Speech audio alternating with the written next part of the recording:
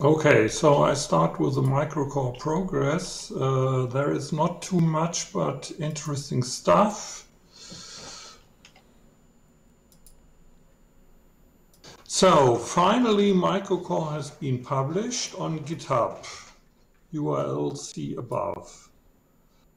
Uh, as a second measure, uh, because the whole cross compiler still uh, relates deeply or re depends deeply on Gforth 062. Um, Uli wrapped it into a Docker file, uh, but then in the end, when everything was working fine in uh, Linux, it turned out to be completely useless because for Windows 10 because uh, Microsoft on, on, on the Microsoft Docker, you are not, uh, it is not possible to connect to the serial interface. So um, you could not debug microcore. This is why I'm still waiting for a final uh, for a final Gforth 1.0, which and in, in which case I will sit down and rewrite the cross compiler to load on Gforth 1.0. So up to that point, up to that time, um, sorry, uh, Gforth can, uh, uh, microcore can only be uh, debugged on Linux uh, using either the Docker file or loading the or original Gforth 062, which should also be possible. So I thought in order to support uh, the Internet of Things, uh, a 10 base T Ethernet interface would be fine. I chose 10 base T because I didn't want to use an external uh, physical PHY. Uh, these little, I don't know, 24 pin devices that handle the physical side of it um, because they are extremely power hungry. And I wanted to get away with less power. So my 10BASE-T interface just uses a couple of passive components as PHY and everything else as far as 10BASE-T is uh, concerned is realized inside the FPGA consuming about 500 uh, logical, whatever LUTS means, logical something or other. Uh, it consumes 500 as a reference point, microcore itself. And for testing, I'm also using, always using a 27-bit data word width.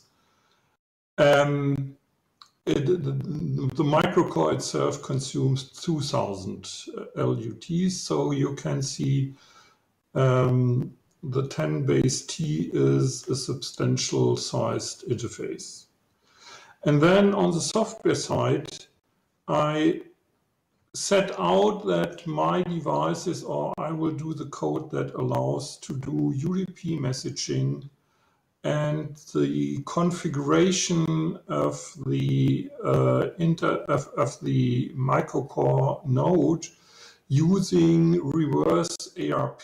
Reverse ARP means there is a host computer and the host computer has a table of um, MAC numbers and internet addresses. And the first thing that the microcore node does, it does an ARP call, and that that supplies uh, the microcore node with its IP address and also at the same time with the IP address and the MAC address of the host, and then the host, the communication between the uh, microcore node and the host uh, is possible using uh, 10 base T internet. And the, all the code needed to realize ARP and UDP consumes to, to my I mean, to my delight, only 2030 instructions, and that includes the multitasker as well. So I mean, that is a very slim implementation. And uh, plus I did quite a number of things differently than they are usually done. I have no buffers, uh, so big buffers in the system that I use to buffer the incoming uh, internet frames. Instead, all the checking whether this is an internet frame that is really needed for the node is done in the FPGA. And then the message that gets received is stuffed into uh, a FIFO from which then the foreground process that does all the UDP processing um, just has to access the, uh, the FIFO. And uh, that minimizes that minimizes to a large extent uh, that uh, the software has to figure out whether a message that has been received is really meant for this node. And uh, all kinds of nasty things that can go wrong. And uh, unfortunately Stephen is not listening. He can tell you uh, nice stories about what, what happens if you connect um, an internet and uh, UDP protocol uh, to the World Wide Web. It crashes the system in no time. With this implementation, I am quite sure that cannot happen. So, any questions so far? No? Okay. Then I come to the linguistic aspects, which I think um, is much more interesting. So I did all of this because I talked to a computer science student um, who uh, took linguistics as uh, a second study topic. And then I started to think about, I mean, what about the linguistics of Forth itself? And Forth has some, some features that should make it very interesting for linguists to because what the linguists usually do, they have a text and they want to analyze it under linguistic, uh, how do you say this, linguistic uh, aspects. And then they use some programming language uh, that they have to use. Well, in Forth, you can apply linguistic principles to your programs themselves. And so let's see what that means. The stack. Forth has no parameter lists because input and output arguments use a stack. We all know this. But why is this, I mean, why is this so exceptional? Because the, the ramification of this is that several words can be written on a single line. You cannot do that with conventional languages because of the, uh, well, of the, oh, the stack, sorry, I'm getting mix, mixed up here.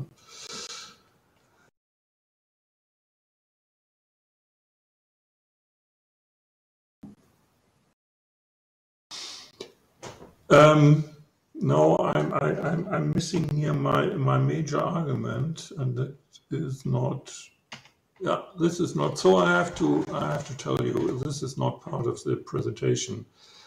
Uh, what is exceptional about Forth? It doesn't have parameter lists.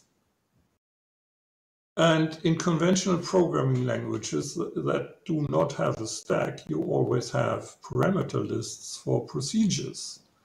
And so the parameter lists are cluttering your program more or less, and the result of which is that you usually do one procedure call per line.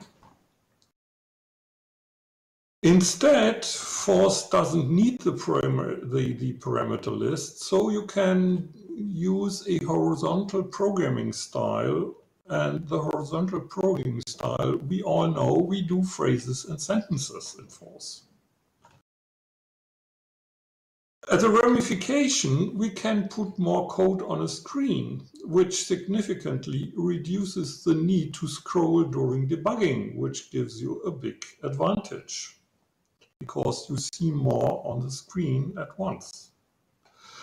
And it allows to write readable code that is comprehensible by system engineers because no parameter lists garble the flow. And uh, so you can put some um,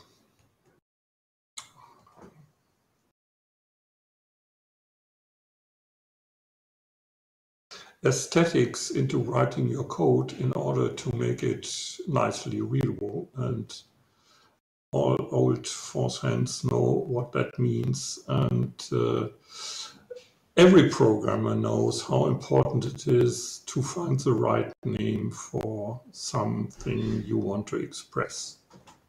So these are the two benefits of the stack. And then we also have the parser. Uh, very similar to book reading, Forth's lexical scanner only looks out for white space, which is also something that most other programming languages don't do. Which means, and, and the ramification of this is that names can be composed of any printable character.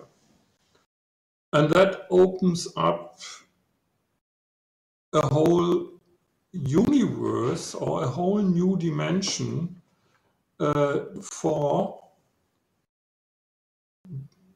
signification of names by using the special characters in that you apply a certain meaning to like the greater or less sign uh, C2R and R from and, and, and, the, and, and the same ilk. And so you have already your, the, the names in Forth can carry more meaning than the names in other programming languages, unless, I mean, you write names that take almost half a line in the code. And if I look at uh, languages like, oh, what, what, what is a contemporary uh,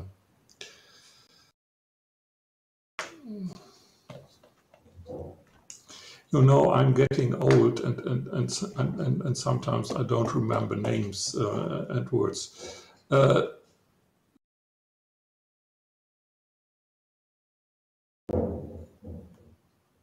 so what, what I saw in, in contemporary programming is that the names become terribly long which means uh, not only do you have to type a lot, but um, I, this is the second reason why uh, you do not fit more than one procedure call on a line, uh, because the names are so long. And in, in that respect, uh, Forth has big advantages and you can apply linguistic principles and, and and compose nice reading programs because the language doesn't get into your way. And noted besides, uh, also Forth does not need regular expressions for its parser. Um, I asked myself, I mean, why do other programming languages have lexical scanners which look for more than just white space. And the only explanation I came up with is Fortran and COBOL have the first have been the first high-level languages that existed. And they existed at a time when your source code had to be punched into cards. And Every character on a punch card was costly. So omitting unnecessary spaces was considered to be a good means for code compression. And it seems to me that this habit has been inherited and taken for granted and not questioned, but by Chuck Moore. Um, from that time on, and therefore you can still uh, write 1 plus 2 without spaces in between, which makes the lexical scanner complex and doesn't give you any more functionality. Plus, it makes reading the code more difficult. So these are the two features of Forth which I uh, which which I found that are important as far as linguistics is concerned and which kind of uh, are unique to Forth more or less. Uh, I'm sure there are other programming languages who, that do similar things, but I'm not aware of them. So that's that's what I wanted to say.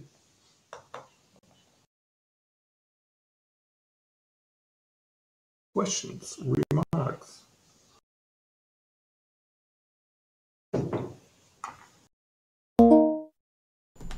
If there's any questions in, on Twitch, please put them in the chat now. Are there any questions in Big Blue Button? Please raise your hand. Oh, Bob wants to say something? Bob wants to say something. You have hit on exactly why I've um, worked so hard to create APL in Forth. Because APL is also a language which is sentence oriented. But one of its major lacks is both the simplicity of the RPN um, um, fundamental RPN syntax, but also the white space is the prime delimiter. Um, APLs are far more difficult to read, and, and they're, they're caught in this notion of having some uh, sort of central committee defined a set of symbols the, and the, the, the freedom to create a word out of any uh, non-blank, non, non-white space uh, set of symbols is just an enormously larger space than what you have to create words in APL. And that's, that's one of the, the tremendous freedoms of it. So you've, you've said an awful lot of stuff that is, it's, it's about having a linguistic interface instead of a, a, a, a menu and, and icon interface. Um, you have to be able to write a sentence to be able to control your, your computing environment. That's my rant. Thank you, Bob. Bob? Uh, any further questions or statements? Um, yeah, maybe from me. Uh, I'm not sure whether whether the, the pure space saving uh, has been the, the, the, key driver of the, the special character slash uh, regex scanner driven structure of uh, of most languages. What what I see is I, I, agree with most most what you said. Uh, what I see is uh, that Chuck Moore was the first to have this this idea that you could actually get something like a semantic structure into into into a program uh, through the use of the stack. So basically, in um, making implicit the the relation between different parts of the program, which everywhere else you do through operators and equal signs and uh, uh, all the special characters that we that we know and sometimes love and sometimes hate. So I'm I'm not sure whether it's a it's a space saving thing. Um, one parallel later uh, development that I noticed was uh, from Pascal to C. Um, the language became less verbose. So uh, where Pascal uses words, C uses uses symbols, characters uh, which I don't think was motivated by any uh, characters are expensive reason, but rather by it's quicker to read once you've got the trained eye and it's quicker to type. um, my my guess would rather be that um, nobody had an idea how to create this kind of rich structure into a language without syntactic help, if you if you will. So beyond that, I'm. Uh, I think you said it said it very well. Now, yeah, but it still doesn't explain uh, why. I mean, at the time when Fortran and COBOL was created, uh, it complicate. I mean, just the lexical scanner was much more complicated than what what Chuck did. Why did they do that? Why the heck did they do that? It, I find it so unnecessary. And of course, I mean, the, even Fortran and COBOL gives you the freedom. You can stick in the blanks where Forth had them as well. But uh, usually nobody does that. In in the APL world, um, this is a, an issue in, in writing K, which is, is the direct predecessor, you know, where I'm coming from. Um, I don't like the idea that, in a sense, the computer knows more about parsing what's in front of you than you do. And just having white space as this prime delimiter goes and puts you on an equal footing with your computer. There's no nothing behind the scenes that is that is has got rules that you may not understand. And without question, in both uh, APL has gotten extreme in the in the mixing of syntax with meaning in ways that just are, you know, you really, that ends up being your focus of what you try to solve, figure out, to go and be able to express something, as opposed to the, the brilliant simplicity that, that, that Chuck had, just having white space be the prime delimiter. Right. If you uh, wanted to build something that parsed words within that, you could, but. Okay, thank you, Bob. Glyn has his hand up for quite a while.